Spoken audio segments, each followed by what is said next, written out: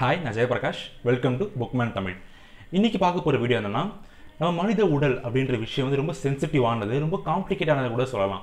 இப்படிப்பட்ட விஷயத்தில் நமக்கு தெரியாத விஷயங்கள் நிறைய விஷயங்கள் இருக்குது நம்ம உடம்பை பற்றி தெரியாத விஷயங்கள் நமக்கே நிறைய விஷயங்கள் இருக்கும்பொழுது இதை தெரிஞ்சுக்கலான்ற போது நம்ம பல விஷயங்கள் ரொம்ப சீரியஸாக அப்ரோச் பண்ணோம். ரொம்ப கஷ்டமாக இருக்கும் கற்றுக்கணுன்ற போது. அப்படி இருக்கும்பொழுது ரொம்ப ஃபன் ஃபேக்டாக ஃபன் வேல நம்ம உடம்பை பற்றி நம்ம தெரிஞ்சுக்கிறதுக்கு ஒரு புக் எழுதியிருக்காரு ஒரு ஆத்தர் அந்த புக் பேர் இந்த புக்கு தான். மை பிரில்லியன் பாடி இந்த புக்கில் நம்ம உடம்புல இருக்க விஷயங்களை நமக்கு தெரியப்படுத்துறதுக்கு எவ்வளோ சிம்பிளாக ஒரு ஃபன் வே ஒரு குழந்தை படித்தா கூட புரியிற அளவுக்கு எழுதியிருக்காரு ஆத்தர் இந்த மை பிரில்லியன் பாடின்ற புக்கில் வந்து ஜஸ்ட் நம்ம உடம்பை பற்றி மட்டும் சொல்லாமல் இதுக்கு முன்னாடி வரலாற்றில் சில பேர்லாம் விசித்திரமாக வாழ்ந்துருக்காங்க அவங்க உடம்புக்கு வந்து சில சக்திகள் கிடச்சிருக்கு. அது வந்து எப்படிலாம் அவங்க இருந்திருக்கிறாங்க அப்படின்ற விஷயத்த இந்த புக்கில் நிறைய சொல்லியிருக்காரு ஆத்தர் அந்த மாதிரி எனக்கு ஃபன்னாக பட்ட ஒரு பத்து விஷயத்தில் எனக்கு தெரியாத விஷயங்கள் இருக்கிற இந்த புக்கில் இருக்கிறத நான் உங்க கூட ஷேர் பண்ணலான் இருக்கேன். வாங்க வீடியோக்குள்ளே போகலாம் வீடியோ ஸ்கிப் பண்ணாமல் கடைசி வரைக்கும் பாருங்கள் முதல் விஷயம் நம்ம எந்த ஒரு பாட்டை பற்றி பார்க்க போகிறோம்னா நமக்கு உயிர் வாழ சுவாசிக்கிறதுக்கே தேவைப்படுற நம்மளோட மூக்கை பற்றி தான் பார்க்க போகிறோம் இந்த மூக்குன்ற விஷயம் வந்து கிட்டத்தட்ட பத்தாயிரம் ஸ்மெல்ஸ் பத்தாயிரம் வாசனைகளை முகரக்கூடிய ஒரு சக்தி வாய்ந்த விஷயமா. அது மட்டும் இல்லாமல் ஃபார் எக்ஸாம்பிள் நீங்கள் ஒரு இடத்துல கேக் சாப்பிட்ருக்கீங்க ஒரு பெரிய கல்யாணத்தில் கேக் சாப்பிட்ருக்கீங்கன்னா அந்த வாசனையெல்லாம் இது பிடிச்சி வச்சுக்குமா.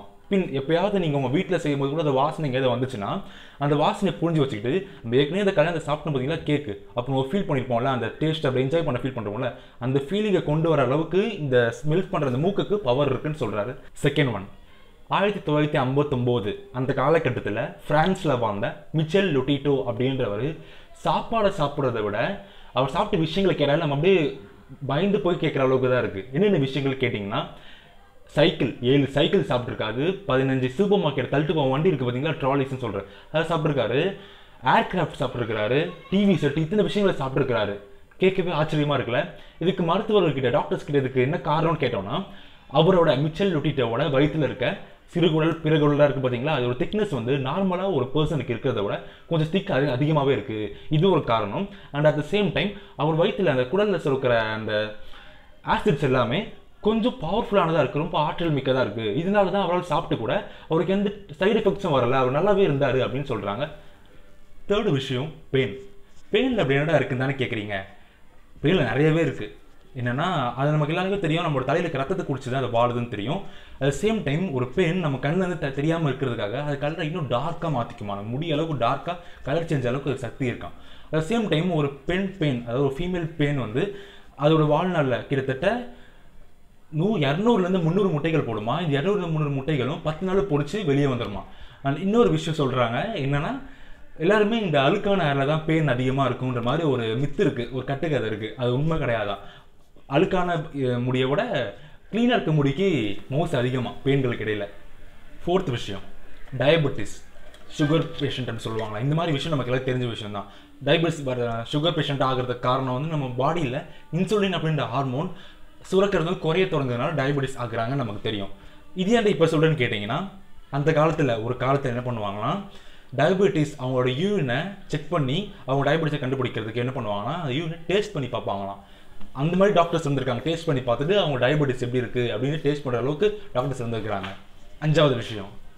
அஞ்சாவது விஷயம் கேனபிலிசம் கேனபிலிசம் என்னென்னு கேட்டிங்கன்னா ஒரு ஸ்பீஷியஸ் இருக்குன்னு வச்சுக்கோங்க. ஒரு அனிமல் இருக்குது அந்த அனிமல் இன்னொரு அனிமல் சாப்பிடாம தன்னோட இனத்தை சேர்ந்து ஒரு சிங்கம் இருக்குன்னா அந்த சிங்கம் வேற ஒருத்தர் சாப்பிடாம தான் இனத்தை சேர்ந்தவங்களே சாப்பிடுதுன்னா அதுதான் கேனபிளிசம் அப்படின்னு சொல்கிறாங்க இது மாதிரி மனிதர்களே இருந்திருக்கிறாங்களாம்.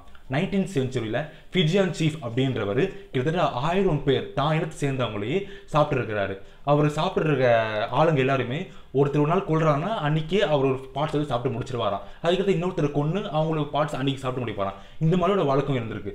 அண்ட் அட் சேம் டைம் இந்த ரேபிட்ஸு ஆம்ஸ்டர்ஸ்லாம் என்ன பண்ணுமா அவங்களோட ஒரு குகையில் அது ஒரு சின்ன ஒரு இது கூண்டில் இருக்கும் பார்த்தீங்களா? அதாவது எப்படி சொல்கிறது அவரோட வாழ்விடத்தில் ஒழிஞ்சிட்டு இருக்கும்ல? ஒழிஞ்சிட்டு இருக்கும்போது நிறைய ப்ரெடேட்டர்ஸ் பாம்பு மாதிரியான வி- தொடர்ந்து அதுக்கு ஒரு பயம் கிடைக்கிட்டே இருந்துச்சுன்னா இதுக்கு என்ன பண்ணுமா? தன்னோட குட்டிங்களையே தனக்கு சார்ந்த அந்த விஷயங்களே சாப்பிட்டு தீர்த்துருமா? ஆறாவது விஷயத்தை பார்க்கலாம். ஒரு பூச்சி இருக்கான். அது பேர் வந்து ப்ரேயிங் மேண்டிஸ் இந்த இந்த பூச்சிங்க வந்து உடல் உறவு வச்சுக்கும் செக்ஸுவல் ஆக்டிவிட்டியில் இருக்கும்பொழுது இந்த ஃபீமேல் மேண்டிஸ் என்ன பண்ணும்னா அது வந்து பண்ணிக்கிட்டு இருக்கும் போது திடீர்னு அதுக்கு பசி வந்துடுமா ஸோ என்ன பண்ணுமா அந்த ஆன் மேண்டிஸ் ஆன் ப்ரேயிங் மேண்டிஸை வந்து கடிச்சு சாப்பிட ஆரம்பிக்குமா. எப்படி ஆரம்பிக்கும்னா ஃபஸ்ட் தலையை சேர்த்து சாப்பிட ஆரம்பிக்குமா. சயின்டிஸ்ட் என்ன கண்டுபிடிச்சிருக்காங்கன்னா அது தலையை சாப்பிட்டதுக்கப்புறமும் கிட்டத்தட்ட பத்து நிமிஷத்துக்கு அதோட செக்ஸுவல் ஆக்டிவிட்டி அந்த ஆண் செக்ஷுவல் ஆக்டிவிட்டி ரொம்ப உயர்வாக இருந்திருக்கு. நார்மல் டைமை விட அது தலையை சாப்பிட்டதுக்கப்புறம் அதோட செக்ஸுவல் ஆக்டிவிட்டி பத்து நிமிஷத்துக்கு ரொம்பவே ஹையாக இருந்திருக்குன்னு சயின்டிஸ்ட் சொல்லியிருக்கிறாங்க. இந்த உலகத்தில் ஒரு காலகட்டத்தில் இப்போ நான் சொல்ல போகிற ஏழாவது விஷயம் இந்த உலகத்தில் ஒரு காலகட்டத்தில் இந்த ஏழைகள்லாம் இருப்பாங்க பார்த்தீங்களா அவங்க என்ன பண்ணுவாங்கன்னா இந்த பணக்காரங்களாக இருக்கிறவங்களுக்கு பல்லு வலி வந்து அவங்க பல் மாற்றம் தேவைப்படுச்சுன்னா தங்களோட பல்லை பிடுங்கி அவங்களுக்கு கொடுத்துருவாங்களாம். ஃபிட் பண்ணிக்கோங்க அப்படின்னு சொல்லி. அதுக்கேற்ற காசையும் வாங்கிப்பாங்களாம். இந்த மாதிரி இருந்திருக்கு அந்த காலத்தில்.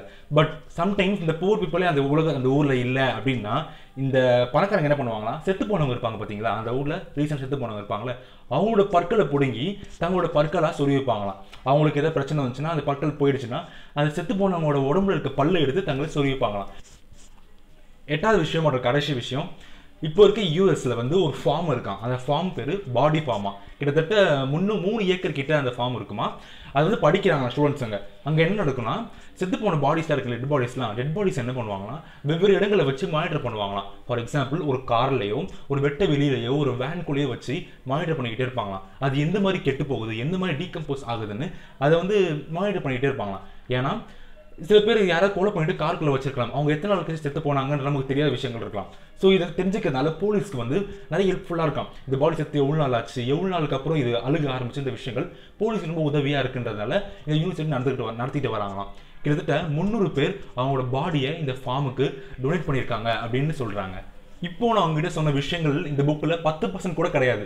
இது மாதிரி நிறைய விஷயங்கள் இந்த புக்கில் அங்கங்கே சொல்லி வச்சிருக்காரு ஆர்த்தர் இந்த புக்கை அவங்க படிக்கலாம். படிக்கலாம் அட் த சேம் டைம் இந்த வீடியோ பிடிச்சிருந்தா லைக் பண்ணுங்கள் ஷேர் பண்ணுங்கள் மறக்காமல் புக் மன் தமிழ் சேனலில் சப்ஸ்கிரைப் பண்ணிக்கோங்க. இது மாதிரி நிறைய வீடியோஸ் வரணும்னா சப்போர்ட் பண்ணிக்கிட்டே இருங்க. பாய்